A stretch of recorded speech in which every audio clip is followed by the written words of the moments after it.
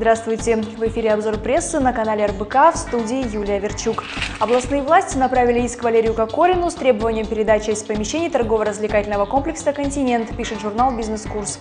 В суд обратилось агентство жилищного строительства Омской области, учредителем которого является областное министерство экономики, с требованием от руководства «Континента» исполнить обязательства по договору участия в долевом строительстве, а именно передать долевые объекты, среди которых нежилые помещения в выставочных блоках, на первом и третьем этажах, а также часть помещений административно-гостиничного комплекса.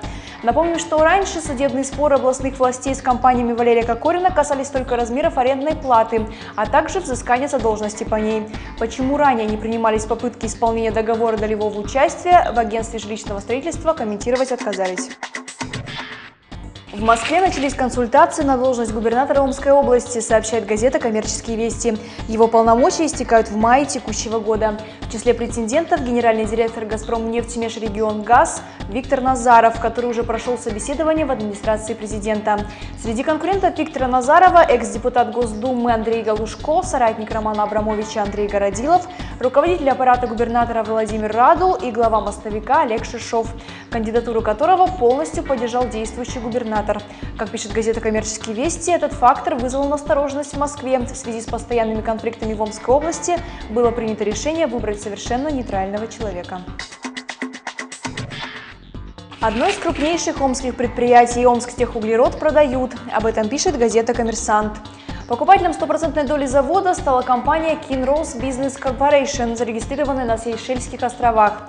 Федеральная антимонопольная служба России одобрила сделку по продаже.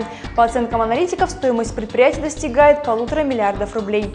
Руководство завода заявляет, что изменение структуры собственности повысит прозрачность бизнеса, а также защитит от трейдеров.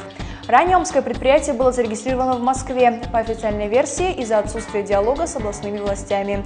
По мнению специалистов, смена собственников завода не отразится на производственных процессах. Впервые за последнее время выросли цены на омские квартиры, пишет газета «Аргументы и факты».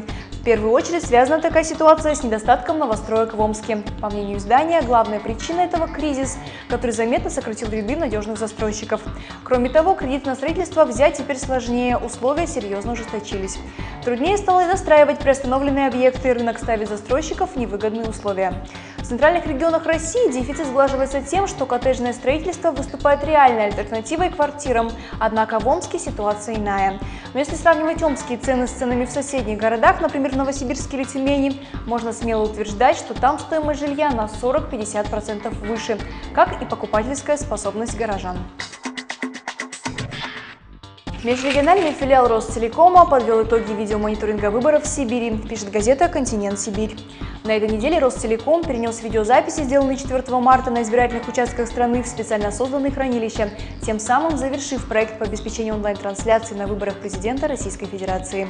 В Сибири видеокамерами были оснащены 15 тысяч участков. Среди нештатных ситуаций, которые отметили специалисты, неисправности в системе веб-трансляции в Красноярском крае, Иркутской и Омской областях, а также хищение камер. Этот инцидент был зарегистрирован в Омске и Забайкалье. В одном из случаев похититель украл камеру, чтобы подарить ее своей жене на 8 марта. По словам специалистов, в целом видеомониторинг выборов в Сибири прошел успешно. Сейчас Минэкономсвязи проводит конкурс на лучшую идею для дальнейшего использования этого оборудования. На этом у меня все. Читайте свежую прессу, смотрите РБК. Всего вам доброго!